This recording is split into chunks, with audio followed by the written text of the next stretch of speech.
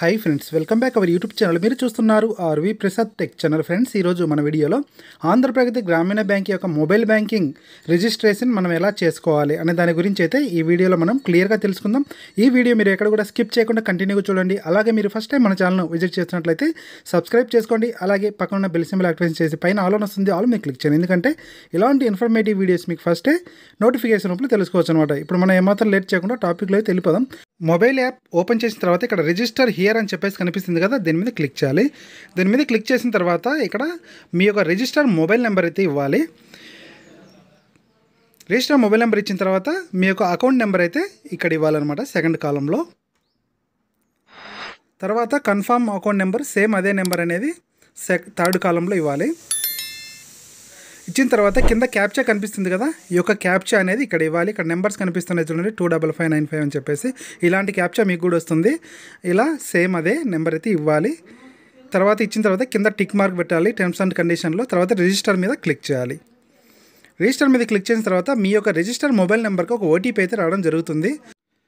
ఇందులో మీరు గమనించాల్సిన విషయం ఏంటంటే మీరు ఆంధ్రప్రదేశ్ గ్రామీణ బ్యాంక్ యొక్క మొబైల్ బ్యాంకింగ్ అప్లికేషన్ ఏ మొబైల్ అయితే ఇన్స్టాల్ చేశారో అదే మొబైల్లో ఆ యొక్క రిజిస్టర్ మొబైల్ నెంబర్ కూడా ఇన్సర్ట్ చేసి ఉండాలన్నమాట. అంటే ఆ మొబైల్లోనే ఉండాలి. ఉంటేనే అది వ్యాలిడేట్ అవుతుంది. ఎందుకంటే హ్యాండ్సెట్ వ్యాలిడేషన్ కూడా అవ్వాలన్నమాట.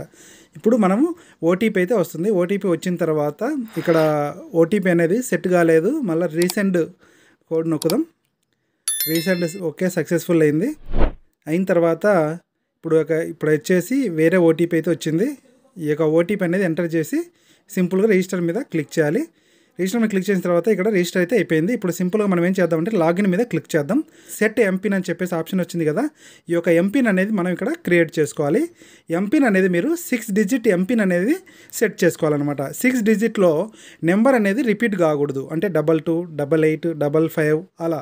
అలా రిపీట్ కాకుండా మీరు డిఫరెంట్ డిఫరెంట్ నెంబర్స్ తోటి ఒక ఎంపిన్ అనేది మీరు క్రియేట్ చేసుకోవాలన్నమాట. ఇక్కడ మీరు ఎంటర్ ఎంపిన్ మీద క్లిక్ చేయాలి. తర్వాత కింద కన్ఫామ్ ఎంపిన్ మీద క్లిక్ చేయాలి. క్లిక్ చేసిన తర్వాత సింపుల్గా సబ్మిట్ మీద క్లిక్ చేయాలన్నమాట. ఇలా సబ్మిట్ మీద క్లిక్ చేసిన తర్వాత నెక్స్ట్ అనేది మీకు ఎంటర్ టీపిన్ తర్వాత కన్ఫర్మ్ టీపిన్ అని చెప్పేసి ఆప్షన్ కనిపి ఆప్షన్ అనేది కనిపిస్తుంది. అంటే టీపిన్ అంటే ఏంటంటే మీకు ట్రాన్సాక్షన్ పిన్ అనమాట ఇది. ఏదైనా మీరు ఫండ్ ట్రాన్స్ఫర్ అలాంటివి చేసుకోవాలంటే ఈ యొక్క టీపిన్ అనేది అడుగుతుంది అనమాట ఇక్కడ ఎంటర్ టీపిన్ తర్వాత కన్ఫర్మ్ టీపిన్ రెండు సేమ్ ఒకే నెంబర్ అయితే ఇవ్వాలి. అది కూడా సేమ్ సిక్స్ డిజిట్లో ఇవ్వాలన్నమాట. ఇచ్చిన తర్వాత సింపుల్గా సబ్మిట్ మీద క్లిక్ చేయాలి.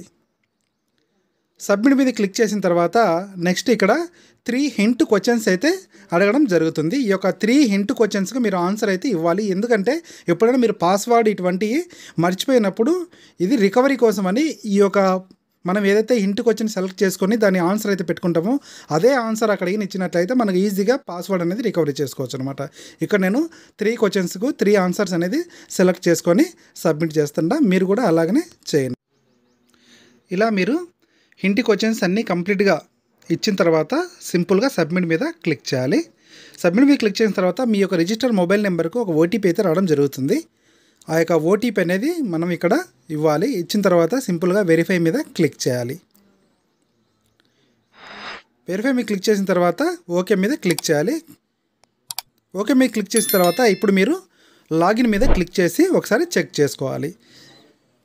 ఇక్కడ మనం ఏదైతే ఫస్ట్ మనం సిక్స్ డిజిట్ ఎంపిన్ అనేది ఇచ్చాం కదా ఆ యొక్క ఎంపిన్ అనేది ఇక్కడ ఇవ్వాలి.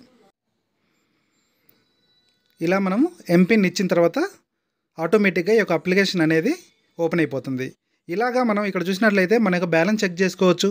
తర్వాత అకౌంట్ డీటెయిల్స్ చూసుకోవచ్చు ఫండ్ ట్రాన్స్ఫర్ చేసుకోవచ్చు పాస్బుక్ తర్వాత ఈ సర్వీసెస్ డిపాజిట్ ఎంక్వైరీ అన్ని రకాల మనం ఈ యొక్క మొబైల్ బ్యాంకింగ్లో అయితే ఈ యొక్క సర్వీసులు అనేది మనం యూజ్ చేసుకోవచ్చు అనమాట ఫ్రెండ్స్ ఈ వీడియో ద్వారా మీకు ఆంధ్రప్రగతి గ్రామీణ బ్యాంక్ యొక్క మొబైల్ బ్యాంకింగ్ యాక్టివేషన్ ఎలా చేయాలి? మనమే ఓన్గా అనే దాని గురించి అయితే క్లియర్గా అర్థమైంది అనుకుంటే ఈ వీడియో మీకు నచ్చినట్లయితే వీడియోని లైక్ చేయడం మాత్రం మర్చిపోకండి.